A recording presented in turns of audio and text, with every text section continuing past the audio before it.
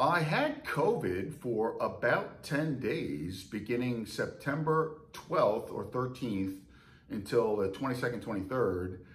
And uh, the first five days were quite mild. In fact, I was thinking, oh, this is not that bad because I was I, I, was I, I was in bed, but I was also up and about a lot. I didn't go anywhere. I stayed home for 14 days. I didn't go out of the house until the after 14 days. And so, but the first five days were mild, and then uh, on day six, it got it just got nasty. I had all the typical symptoms, but but even compounded, uh, feverish, lightheadedness, fatigue, uh, chills, sweating, just just real nasty for days six, seven, eight, nine, and I spent most of those days in bed. I've lost weight in all this, and I those were the days where I was contemplating because at some point I was thinking I just want to die, or let me let me just go home, or am I going to die? Is this a judgment on me? And I'm going to get to that. Day 10, I started making a quick recovery. God had mercy on me. In fact, it, that reminds me of a scripture where Paul says to, uh, where I think it was uh, Epaphroditus, Epaphroditus, where he had almost died for the work he had done for the Lord, but God had mercy on him. You know, so God, I consider it the mercy of God on me. None of us are promised tomorrow. We should be living one day at a time. And so I started recovering on day 10. Day 11, I felt much better. Day 12, I felt great. And uh, yesterday, I believe it was day 15, I was out at a store and I was walking and still not not at a store, you know, packed up against people. I still made sure I kept the distance and and uh, I, I felt like this supernatural energy, like something was pulling me because I hadn't been using any energy. And so it was a strange phenomenon where I felt like I wanted to break out into a sprint for a whole mile. And I guess so. I guess that's a good thing where the Lord was slowing me down because I'm always busy, active, doing something. Uh, but that's not the main point. The, uh, on days six, seven, eight, nine, I was contemplating in my heart on the bed uh, uh, things that needed to change in my life, and I do believe that I needed to repent. Now, the sins that I needed to repent of, I don't believe or, like over over the top obvious maybe to some people, I'm sorry about that. Some people I have been sandpaper to, so they might think I'm just a very arrogant person. And, and arrogance, pride, and vanity are those things that came to my mind that I needed to repent of. And I'm going to get to that. And I'm going to read some scripture verses. Now, over the years, I have taught consistently that if a believer gets sick, there's a good chance that there's sin there. It now it doesn't have to be sin. I'm going to make the point from scripture that you can get sick as a believer either because of sin or even if you didn't sin, you can get sick. And that's pretty clear in scripture. And so I'm not being a hypocrite here because I've taught consistently that it, it quite often it's it's uh, sin. And so I'm no exception. I'm admitting to it that these things need to change. And so arrogance, pride, and vanity let me read first uh, from uh, Psalm 41 3, because the, the Bible does not tell us that we won't get sick. It The Lord restores us from the sick bed. Psalm 41 3, the Lord sustains them on their sick bed and restores them from their bed of illness. And so we're not promised to not get sick when we have faith in the Lord, we were trusting in Him to restore us. And I guess anybody that's been sick, uh, if they've really contemplated uh, in their heart where they're at, they they would uh, they're they're happy for it. In fact, the Bible says, th- "Give thanks in all things." And so I am very, very grateful for what I went through because of what I learned very humbling experience for me. And, and I've been very fortunate for most of my life. I have not been sick that often. I've been blessed, and that's a good thing, but it also could breed pride, thinking that, uh, oh, thinking, oh, oh, I'm untouchable. Now, there are, I've heard testimonies from the super Christians who uh, I've heard, I can't remember some some names I guess I remember, but I don't I don't need to mention any names. But I've heard believers say, I have not been sick in 50 years. Uh, so like, my goodness, it's that's an incredible testimony. I, most believers cannot say that. So let me read some scripture verses uh, to deal that deals with this subject matter and, and me in particular. Uh, let me start with vanity. I said arrogance, pride, and vanity. Uh, about three weeks ago, when I was in the gym, and I'm 57 years old right now, and I'm stronger than I've ever been in my entire life, including 30 years previously when I was 27. Just three weeks ago in the gym, I was using the leg press machine and pressing 500 pounds with my legs. And I have to admit that uh, I, if I think back at that day when I was doing that, I have to admit that I was proud of that. You know, and so pride and vanity. And let me read this scripture verse. Psalm 147, 10 and 11. His pleasure is not in the strength of the horse, nor his delight in the legs of the warrior. The Lord delights in those who fear him, who put their hope in his unfailing love. I'm not saying that it's um, quitting working out and taking care of myself. I believe it's a very good thing for us to eat right and take care of ourselves. We have a body that we want to last for all the days that have been allotted to us.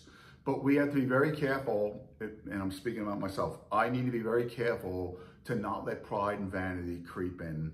The scripture tells us this clearly. So in the future now, when I'm in the gym, I won't be focusing on, oh, I want to get stronger and stronger and stronger and stronger, but rather focusing on just simply uh, exercising to keep cardiovascular fitness, keep myself trim, and so that I'm not carrying more weight than I need to, and just being healthy. And that's it, not being competitive. Now, let me read some scripture verses that make the point that uh, sickness can be because of sin and also not be not sin. Like you can get sin, you can get sickness even if you didn't sin. The first one is John 5 14. Later, Jesus found him at the temple and said to him, See, you are well again. Stop sinning, or something worse may happen to you.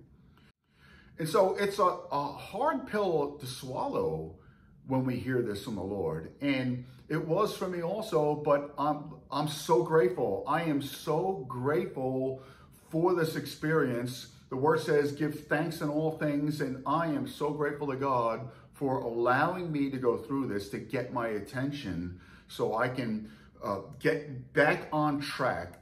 And the Lord is so faithful. He is willing to push the reset button for us a number of times in life so that we will not perish with the unbelievers. And, and that's a different subject matter. I'm not going to get into that, but I do believe that uh, we have to we have to continue believing all the way to the end. Okay, that's all I'm going to say about that. Now, let me read a scripture, uh, a couple of verses uh, that make the point that we can get we can have a problem, sickness or whatever, without having sinned. And this is in John chapter 9, verses 1, 2, and 3. As he went along, he saw a man blind from birth.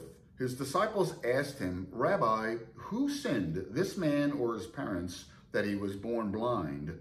Neither this man nor his parents sinned, said Jesus, but this happened so that the works of God might be displayed in him. So that is a tough pill to swallow. Where, where people, there are people that have to wait on God's timing. And so it's really, it, it really is, wow, those, that's, those are situations where we really have to trust that God is a good God and that our day of reckoning is coming and that we, and, and, and vindication from the Lord and we, so we just need to keep on trusting. If there were sin in your life, repent. Search your heart, repent. If there's no sin, then keep, then keep on trusting in the Lord that the Lord will show up eventually and he will restore you to health, and then you will have a glorious testimony. In fact, that testimony will be a major part of your ministry for the rest of your life. All Christians are ministers. There's a couple more scripture verses I want to read that make the point that that in these two scripture verses, the point is made clear that you can get sick, you can get sick from sin or not even if you even if you didn't sin. Right here in the verse it says it. And I think many Christians have overlooked this through the years, but it's just something that jumped out at me when I was reading it. And it's James 5 verses 14 and 15. Is anyone sick among you? Let them call the elders of the church to pray over them and anoint them with oil in the name of the Lord. And the prayer offered in faith will make the sick person well. The Lord will raise them up. If they have sinned, they will be forgiven. Okay, did you catch that? That last sentence. If they have sinned, they will be forgiven. So that sentence right there, that scripture verse right there, makes the point that a person, a believer that has been sick, it could have been from sickness, and even if they didn't, or from sin, or even if they didn't sin.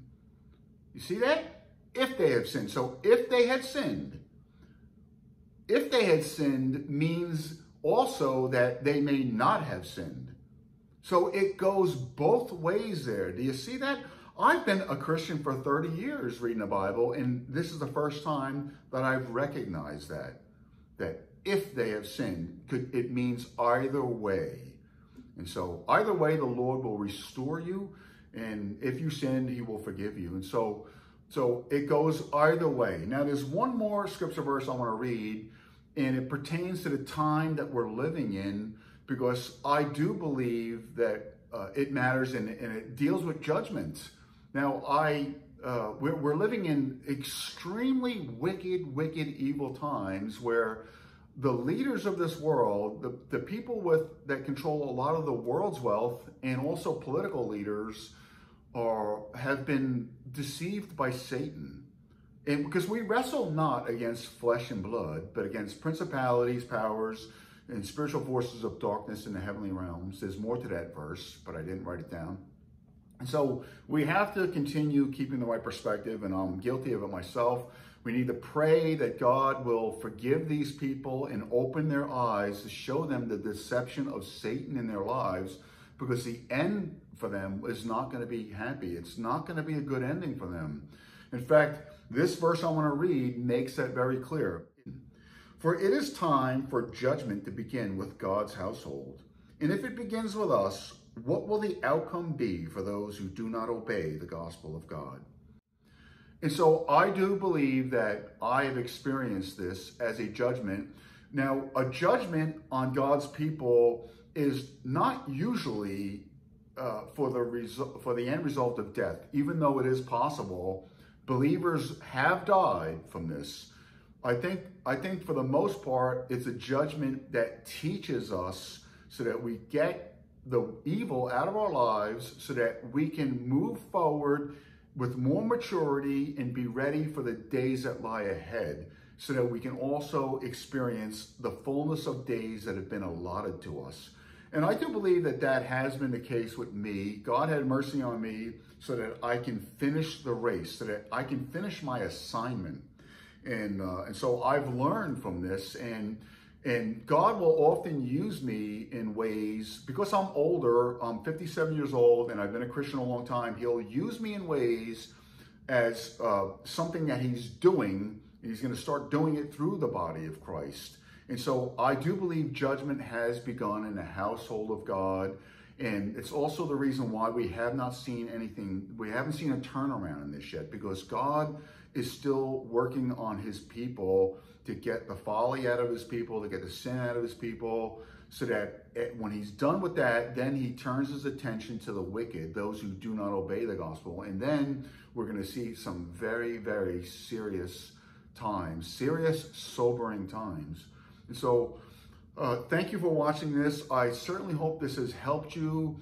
Please visit the description box of this video there are links, including a link to the website cardboardboxchurch.com where and uh, on the website there's a donate page. I want to encourage you to donate into this ministry. We're full-time ministers my wife and i and we're so grateful. We thank god for all of you who have helped us over the years uh, supported this ministry so that we can continue to do god's work on the earth full-time. We want to be able to continue doing this to the very end however long that may be like I said, we are not promised tomorrow. We, uh, we live one day at a time. So thank you for prayerfully considering sowing into the ministry. Uh, we don't live lavish lifestyles, so we're not, we're not uh, living high on the hog when others are in need. So God bless you. Thank you for that. And also, these scripture verses will be in the description box also.